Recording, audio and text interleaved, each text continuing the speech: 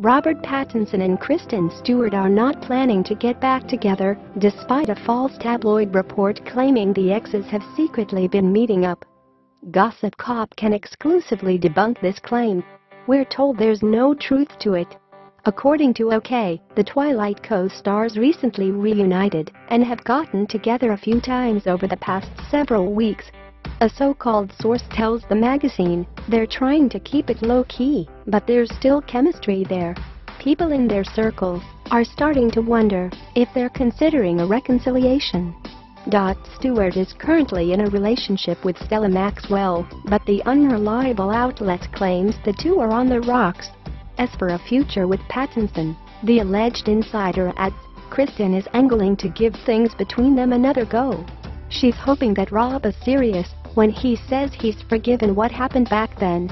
But Gossip Cop checked in with a source close to the situation, who declined to comment on the record, but dismissed the tabloid's article as complete nonsense. We're told Pattinson and Stewart haven't been meeting up in secret, nor is there a reconciliation on the horizon. The gossip media has a habit of making up stories about exes reuniting, but the Twilight stars simply aren't rekindling a romance. Additionally, Stewart and Maxwell were spotted having a date night in Los Angeles less than two weeks ago. The happy couple was photographed laughing and chatting in a private booth. Clearly, the actress and her girlfriend aren't on the rocks, despite what the untrustworthy magazine contends. It's also worth noting, OK constantly publishes false stories about the Twilight stars planning to reunite.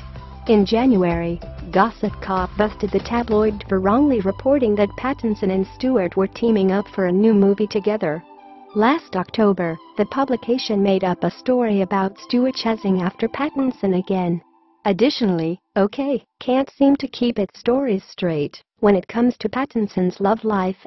Prior to alleging that the actor was back with Stewart, the magazine insisted he was dating Katy Perry. The outlet also recently claimed that Pattinson was crushing on Margot Robbie. The only thing consistent about the tabloid's various narratives is they're all wrong.